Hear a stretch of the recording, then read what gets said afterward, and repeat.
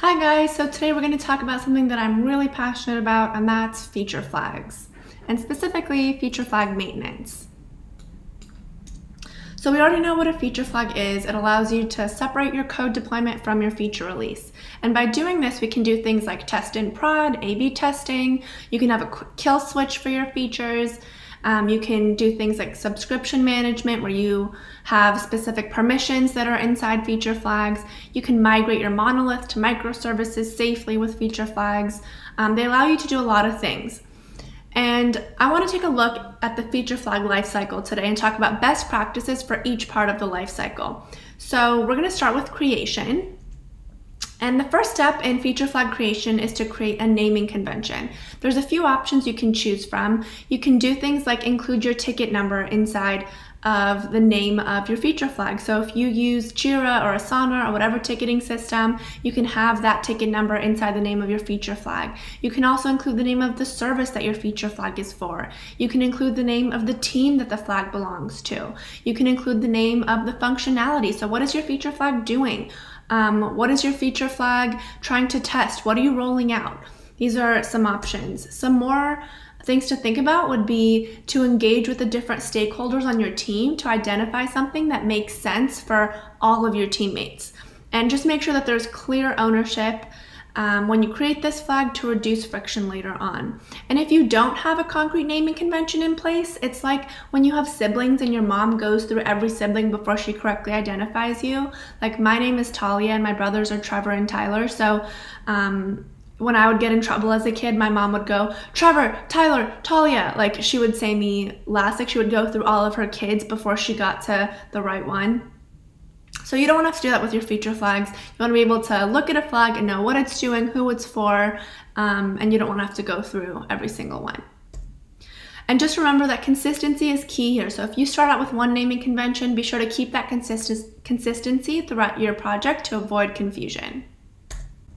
The next step is implementation. So changes to your feature flag should be treated like code deploys. So if you require two code reviews for your code base before someone gets to merge their code to master, you should also have two reviews for any configuration changes to your feature flags.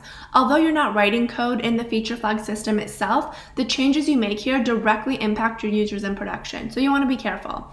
And by having the same approval process here, you can prevent people from making a, a change to the configuration that they don't own or that they meant to make for a different flag.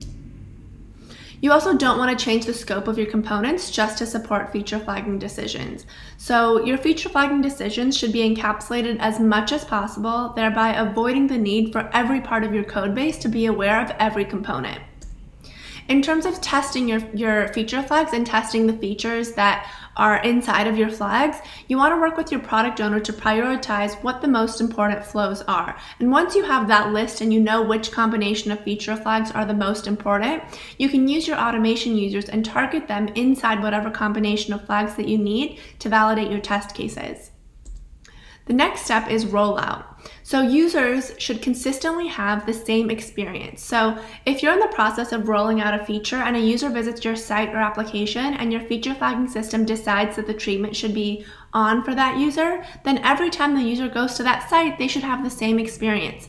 So increasing exposure to a feature should not affect the current exposed population.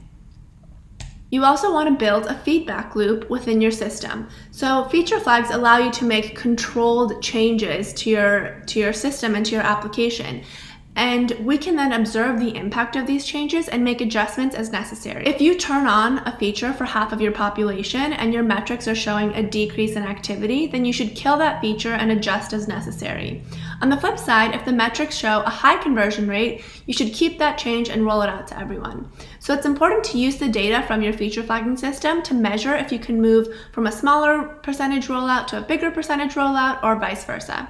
You also want to set up alerts to page you when you get any statistically significant changes. So if your business metrics are really being badly impacted by any change, you should be getting more violent alerts through PagerDuty or whatever application that you use. And on the flip side, if you get neutral or positive results, then maybe you can just set up like an email alert or something a little bit less aggressive. So this is how you can measure the impact of your change. So think about that. Feature flagging allows you to directly correlate the impact of your changes by pushing information about the feature flags to the internal analytics system. And your business decisions should be based off of data, right? And using a smart feature flagging system will give you that data to have a successful business. And it's not magic, guys, it's just feature flags. So the last step of the feature flagging process is removal. You definitely don't want to be stuck with 100 feature flags that serve their purpose and then were just forgotten about. So something super useful you can do when thinking about removing a flag is assigning an expiration date for each flag. You can also set up alerts in your flagging system that will poke you when a flag is stale or hasn't had impressions in a while.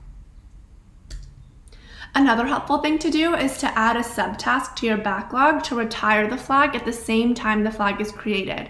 So when you create the ticket in your backlog to create the flag, make sure you also create a ticket to delete the flag once you reach your definition of done. Another thing that you want to do is make sure that you remove the old code when you delete the feature flag. So you don't want to have stale code in your code base, that's just a bad practice. And that's it guys, thanks for tuning in. And here's my contact info, um, my Twitter handle, and my email address in case you have questions.